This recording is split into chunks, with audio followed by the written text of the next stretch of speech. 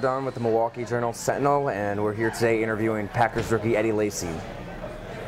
Um, Eddie, what are your, your expectations for 2013? Uh, you know, just to come in and contribute to the team as much as I can. I mean, I don't have too much on a personal level, but you know, as a rookie, I just want to come in and be able to contribute. Now, how much does your, your past motivate you for this moment?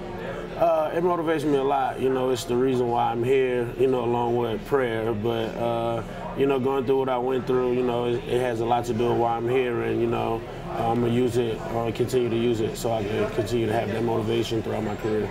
Is it something you think about consciously? Uh, mostly whenever I get tired and I'm like I'm in one of those I don't feel like doing anything moves and you know I can use that to think about you know well I you know I really cannot be here you know I could be somewhere else or you know situations like that. Now you've been here for, for a little bit, OTAs, mini camp. How do you think you can fit in to the Packers this season? Uh, I think I'll fit in um, fairly well. I mean, you know, learning everything, you know, it took a while, but, you know, as I get used to it and I get adjusted to the um, system that they have, you know, I can see myself being um, used pretty uh, well around here. Expect a competition at training camp there at that position?